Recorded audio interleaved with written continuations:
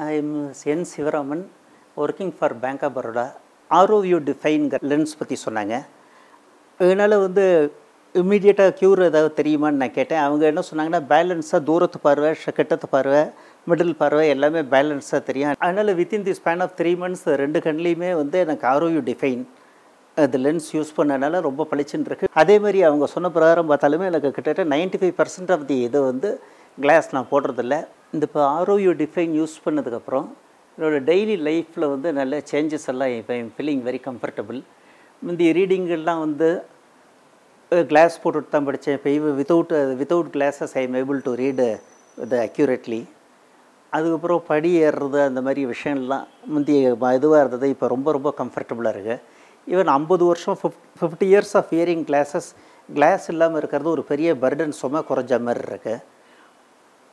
அதுலேயும் எஸ்பெஷலி ஆரோவியோ டிஃபைன்ல இந்த கிளா இது லென்ஸ் வந்து ரொம்ப ரொம்ப நல்லா இது இருக்குது அது டிரைவிங் பொறுத்த வரைக்கும் வந்து ரொம்ப ரொம்ப ஐம் ஏபிள் டு டிரைவ் அது confidently even during day and night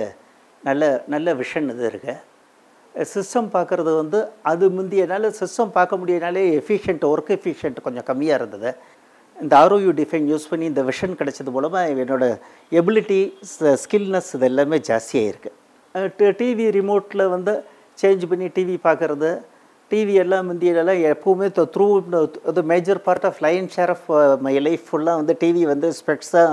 use பண்ணும்படியாக இருந்தது. இப்போ ஆரோ ஆர்ஓவி டிஃபைன் லென்ஸ்க்கு அப்புறம் வந்து டிவி பார்க்குறது எல்லாமே பர்ஃபெக்டாக வேர்ல்டே பிரைட்டாக இருக்கிற மாதிரி இருக்குது அதனால் very thank thanks to AuroVue define lens I am able to see the things clearly so thanks to AuroVue define lens